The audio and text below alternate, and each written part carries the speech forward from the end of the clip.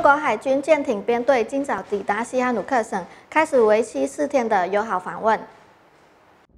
今日上午十时，中国海军舰艇编队舰艇停靠西哈努克港码头，柬埔寨海军在码头举行欢迎仪式。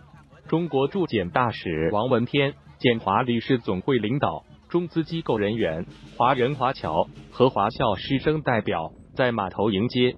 这次来访的中国海军舰艇编队共有三艘军舰，包括芜湖号导弹护卫舰和东平湖号补给舰。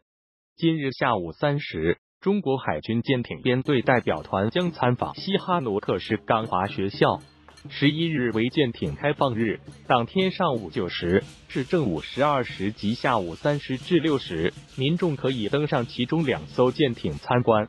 中国海军舰艇编队访柬期间，柬中双方将开展互访拜会、参观交流、海上联演和文体竞赛等一系列友好活动。